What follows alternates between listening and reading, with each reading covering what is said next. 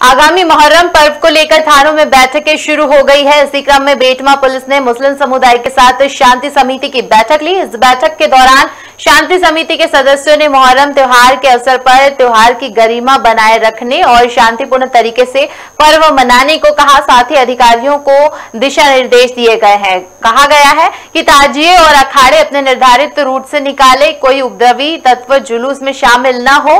त्योहार के दौरान किसी भी स्थिति में कानून व्यवस्था नहीं बिगड़नी चाहिए और किसी की सांप्रदायिक भावनाओं को ठेस न पहुँचे। बैठक में एसडीओपी नीलम कन्नौज, सीएमओ सुशील ठाकुर, थाना प्रभारी संजय शर्मा उपस्थित रहे।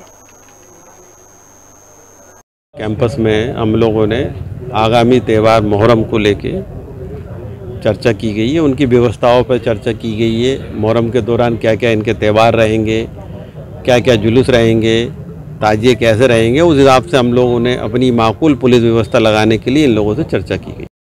बेटमा थाने पर आज आगामी त्योहारों को देखते हुए बैठक रखी गई थी जिसमें सभी लोग शामिल हुए हैं और कुछ बिंदु जो थे वो बताए गए थे कि मुहर्रम में किस प्रकार की जो रूट रहेगा उसमें क्या क्या व्यवस्थाएँ हमको करानी हैं और कब से कब तक ये रहेगा तो हमने जो चल समरो रोड के लिए जो रोड को पूरी तरह क्लियर मांगा गया है प्रशासन से और शासन से।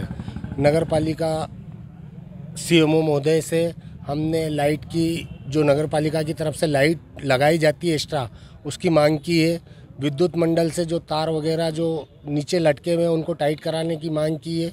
इसी प्रकार से हर साल की तरह हम मुहर्रम पर्व पर जो मनाया जाता है हमारा, इस प्रकार से सब हिल मिल के मनाते हैं।